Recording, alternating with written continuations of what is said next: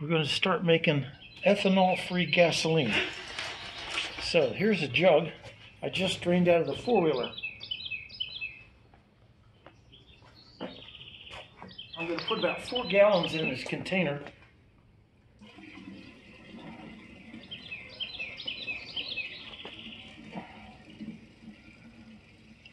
So I'll have about four and a half gallons in here. It's a five gallon container, not to be confused with iced tea. And now I got two quarts of water. I'm going to add the water slowly so it can precipitate the alcohol.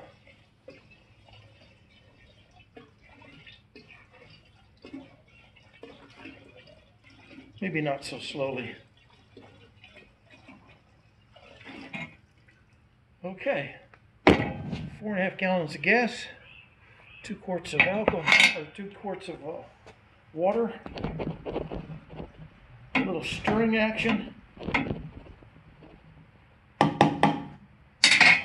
and we put the top on. I remember where I put the top. Oh, great. Okay. So what happens now is the water absorbs the ethanol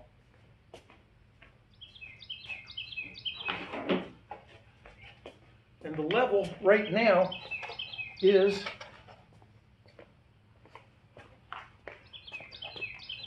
interestingly enough, the level is almost even with the center of the spigot. So there you have it. That's pretty cool. And then over time, that level will build up. When I'm all done, I pour off the water, which is at the very bottom. And when the bottom is poured off, I'll have ethanol-free gasoline. So we'll see how that works after 24 hours. Well, it's slightly higher than half the hole. Uh, trying to shake the jug.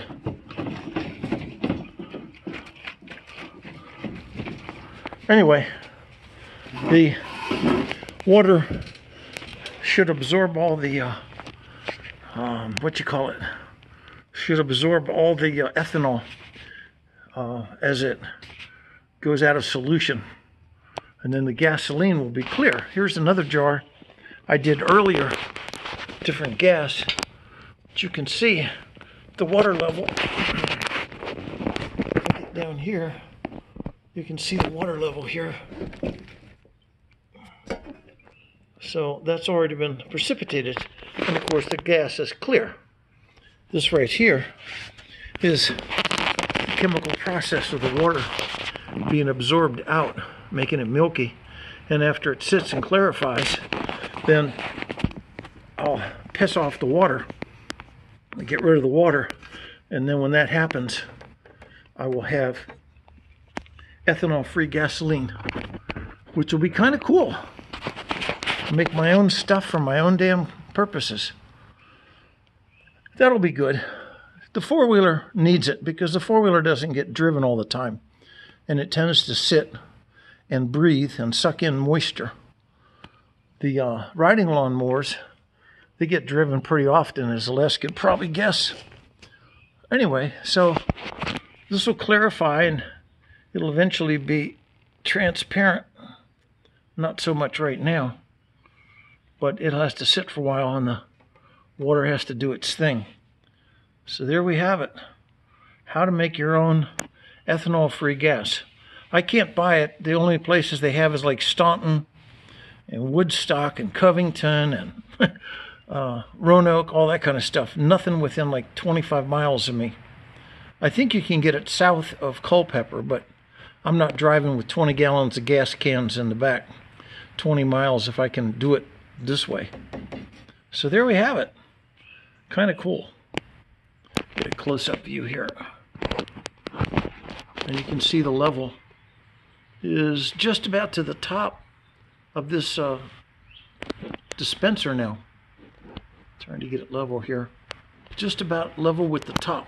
So that means it's gone up some, I don't know, almost a quarter of an inch, which means that the alcohol is going into the water, increasing its volume. I got to do some research. I don't believe that the water increases one for one with the alcohol. I think they're miscible, and that means that the alcohol can actually dissolve into the water, and the volume of two measures, one water, one alcohol, would end up being less than a, a liquid value of two because the atoms go in between each other.